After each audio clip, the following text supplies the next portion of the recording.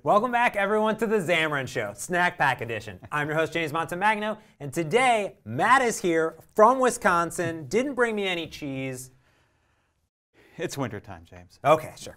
I don't know if the I don't know if that matters or not, but it is probably a long drive to the dairy. Sounded good. You're here, special guest, Snack Pack Edition, because you wanted to talk about Xamarin Forms animations. Why and how?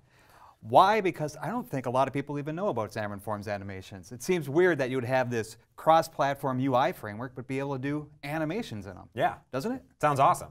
It is awesome. Yeah. So, five minutes, what you got for me? All right, so in five minutes, I want to show off the four big animations that we have in Xamarin Forms. Translate, moving things around the screen. Yep. Scale, making them bigger. Make them Ro- smaller, maybe, too. Ma- making them smaller. Who knows?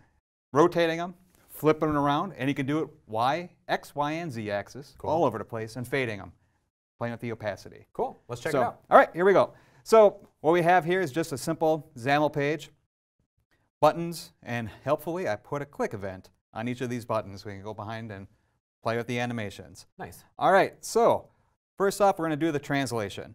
And the APIs for these are super simple. Of course, they are awaitable. Yeah. So we don't have to mess with the uh, user's experience. They can hit it and away we go.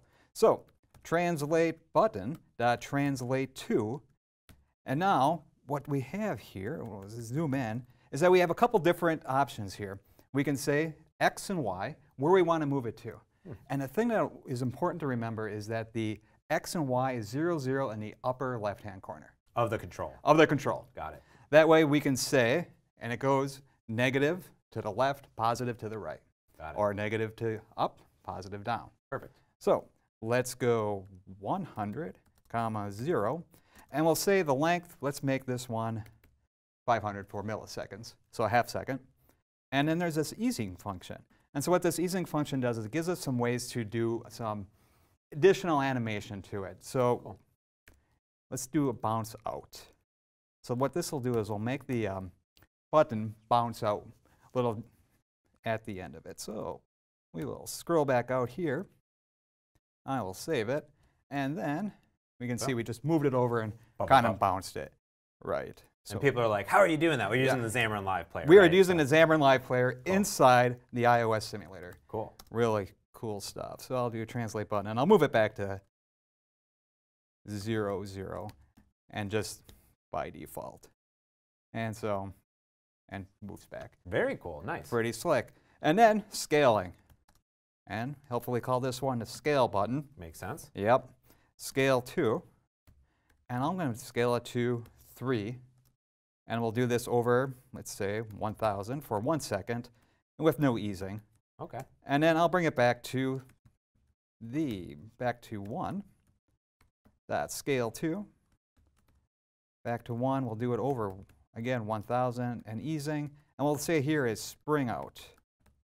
So in and out means um, when you want to have the extra animation take part. Got it. And so out being the end of it. Got it. That's cool. So scale up and down. It kind of just goes a little bit past that one point and makes just a little bit smaller. that's very cool. And you wait on all of them. So the first animation finishes, then the next one. Right. Very and because our UI doesn't lock up, I can do translate here and scale there, and they both kind of run at the same time. Nice.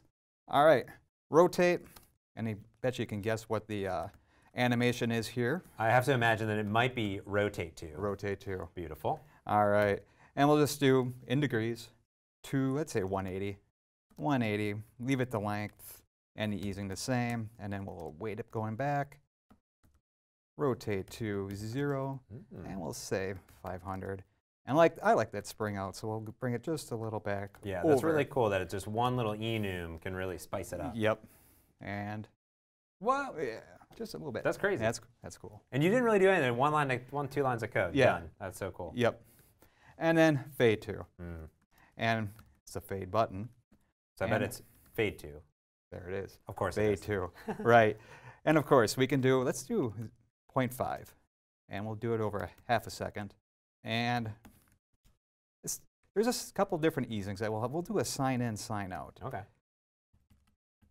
So this will make it start up fast, slow it down, and come in Very fast. cool. And we'll actually do it over 1,000 for a whole second. Yeah, and this is pretty cool because you can do it right in the Xamarin Live Player and then test out all the Yeah. animations in real time. See how it all works. Ah, that's So cool. we'll make it go to zero. We'll make it.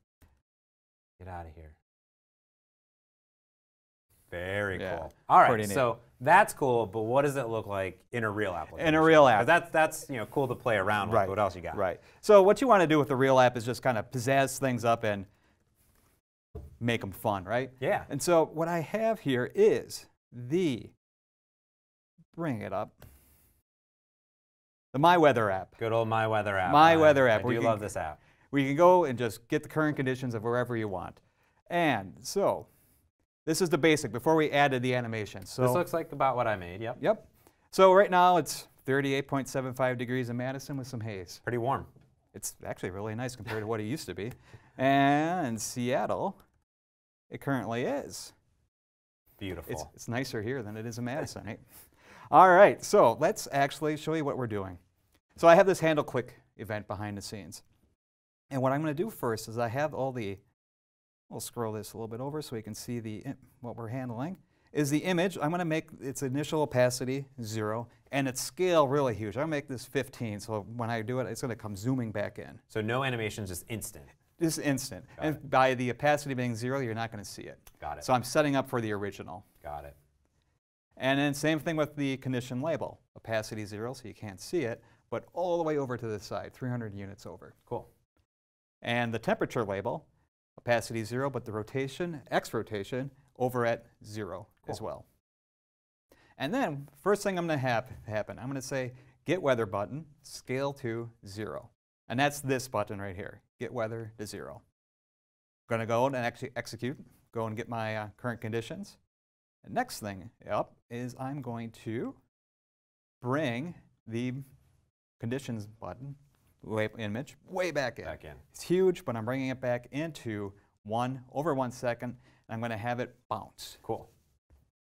Next thing is, when all of these, because these are nothing but tasks. Yeah, so you can run a bunch of them together. Right, right. So the image, I'm fading it in from z- zero to one over a half second.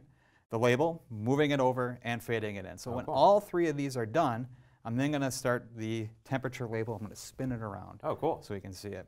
And then finally, I'm bringing the button back back in, so it's going to shrink and come back out. for me. Nice. Cool. Let's check it out. All right. So let's run it over on iOS. So Bring now you can take kind of any sort of application you have, add a few animations. Yeah. Boom. Simple as that. Oh, Look at this. Here we go. Seattle button fades Wow. away, Whoa, cool. and that's there it is. Beautiful. And that works on both iOS and Android? Works on both iOS and Android. We'll bring the Android app up. We'll look for my weather. Oh.